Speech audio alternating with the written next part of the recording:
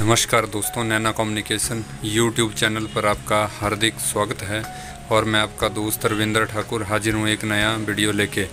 दोस्तों, आज हमारे पास एक फ़ोन आया है जिसमें एंटी थेफ्ट लॉक लगा हुआ है। तो आज हम आपको बताएँगे कि इसको कैसे रिमूव किया जाता है। तो वीडियो को प्लीज़ एंड तक ज़रूर देखिए, तभी आप समझ पाएँगे कि इस लॉक को कैसे रिमूव किया जाता है। फ़िलहाल ये पैनासोनिक का फ़ोन है और इसमें लॉक लगा हुआ है। इसको मैंने हार्ड रीसेट भी किया। आ, लेकिन हार्ड रीसेट करने के बाद भी ये लॉक नहीं खुला। तो अब हम इसको मेरिकल टूल के द्वारा खोलेंगे। तो मैं आपको इसका मॉडल बता दूँ।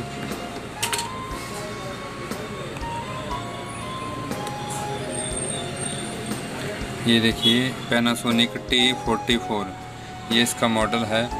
और इसको हम कोशिश करेंगे मेरिकल टूल के साथ खोलने की, कि इसको कैसे खोला जाता है। तो कंप्यूटर स्क्रीन की ओर चलते हैं। ये देखिए, ये मैंने इसका क्रैक डाउनलोड करके रखा हुआ है। और इसका क्रैक इसको ओपन करने के लिए रन एज एडमिनिस्ट्रेटर इसको ओपन करते हैं। और ये यहाँ पे पूछ रहा है यस। यस करने के बाद।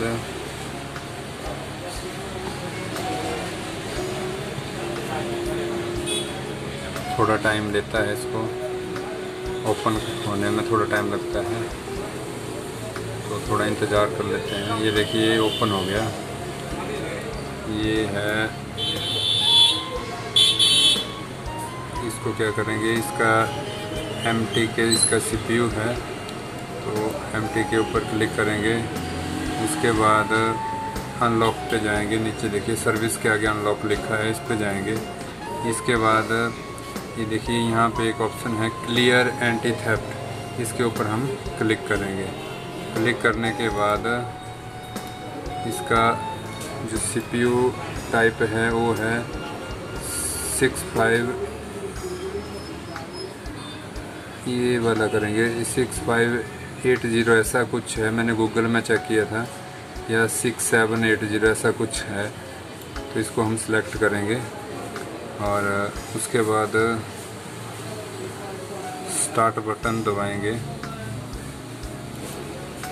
और उसके बाद अपना जो फ़ोन है, उसको डाटा केबल की सहायता से कनेक्ट करेंगे। आपने कोई भी की प्रेस नहीं करनी है और इसमें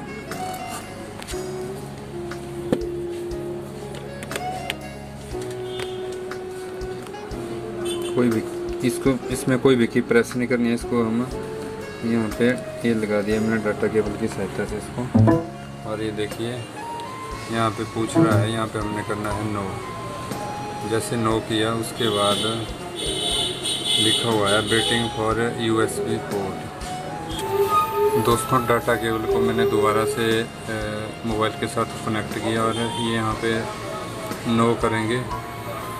नो करने के बाद waiting for U USB port.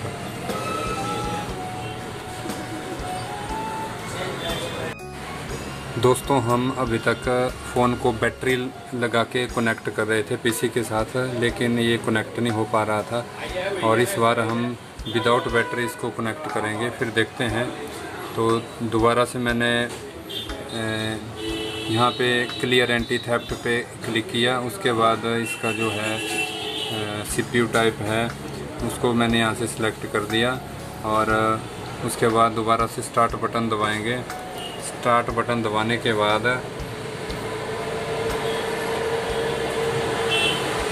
ये पूछ रहा है यस और नो तो इसको नो करेंगे। और उसके बाद यहाँ पे लिखा आ गया, देखो वेटिंग फॉर यूएसबी पोर्ट तो उसके बाद हम इसकी मैंने बैटरी निकाल दी है और अब हम इसमें डाटा केबल कनेक्ट करेंगे और जैसे ही हमने इसमें अब डाटा केबल कनेक्ट की तो ये देखिए पीसी के साथ ही कनेक्ट हो चुका है और कुछ इसमें रीडिंग आ रही है। ये देखिए flash type E M M C और चेक डाटा ओके और दोस्तों इस प्रकार हमारा जो इसमें एंटी थेफ्ट लॉक लगा था, वो रिमूव हो चुका है। और अब हम फ़ोन को ऑन करके देखेंगे।